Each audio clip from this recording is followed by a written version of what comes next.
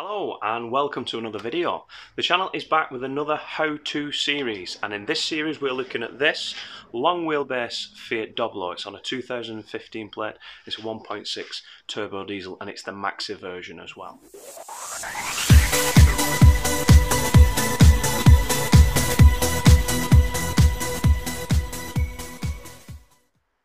So in this series I'm going to be covering uh, this conversion from literally from start to finish. At the moment as it is, there's nothing been stripped out of the back, so we're literally going right from the very beginning and we're going to take this through right to the end. I'm not going to stray too far away from the layouts that I've done before on the micro campers because I really do like that layout. Um, but there are going to be some changes along the way and I'm going to go through them processes as, as we get through. But the biggest change and the biggest challenge that I've set myself on this conversion is going to be the roof.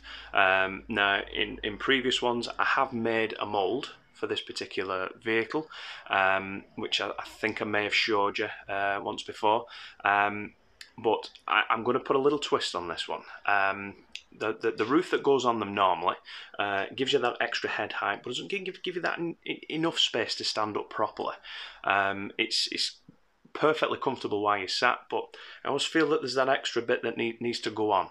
Um, when I've looked at some of the other videos uh, that people have commented on and liked and things like that, the elevator uh, that I did on the micro campers um, was very, very popular. So I kind of wanted to bring that into play with this conversion.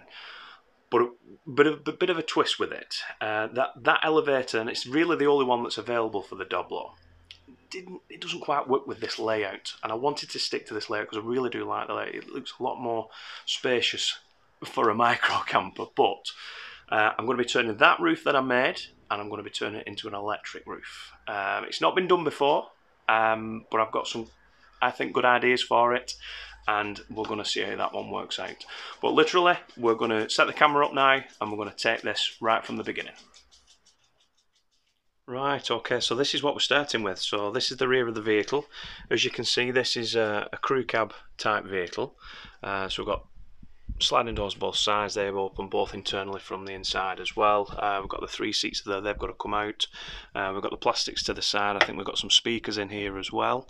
Uh, we've got seat belts and plastics. Uh, we've got the headlining in this one which we've not had before. And obviously we've got uh, some ply lining here as well. Nothing down on the floor uh, and at the front as well we have got that footwell now where on a commercial vehicle we wouldn't have that. So I'm going to try and utilize that and make a bit more storage out of it. Um, we've got some uh, panel here. All this is going to come off. I'm going to be making fresh patterns for all this. All these will be covered the plastics uh, as will the metal. Um, but yeah I'm going to set the uh, the camera up and we're going to have a look at stripping this out